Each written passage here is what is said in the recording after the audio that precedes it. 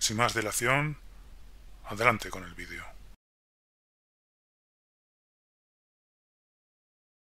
Atrás quedan ya los tiempos donde ustedes disimulaban fingiendo gobernar para todos los catalanes. Ahora no, ahora sale el presidente a hablar de un sol pobla, como si solamente existiera una parte de Cataluña, en línea, por ejemplo, con lo que ya nos decía la actualmente butiflera Carme y que para ella ni siquiera algunos éramos pueblo de Cataluña. Frecuentes son también las ruedas de prensa donde ustedes exhiben a bombo y platillo su sectarismo, como las protagonizadas por su consejero de Educación. Por no hablar de las redes sociales donde algunos dan rienda suelta a sus instintos más primarios, creyendo que Twitter pues, es el bar de la esquina. La última en hacerlo ha sido usted, consellera Jace.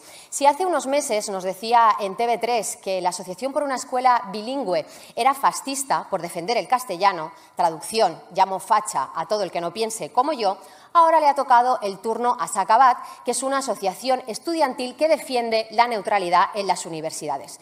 Mire, todos hemos visto el acoso y la violencia ejercida contra estos jóvenes por estudiantes afines al separatismo más radical.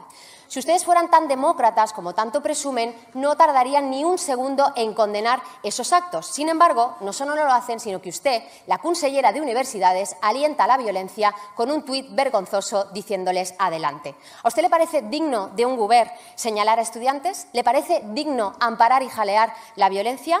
Además, usted ha puesto también la guinda con otro tuit donde les dice a estos jóvenes eh, que no les tiene miedo. No, si es que la que da miedo es usted, señora Jace, por su fanatismo. Miren, este gobierno premia las cruzadas contra la libertad y así es como usted se ha ganado una vicepresidencia temporal.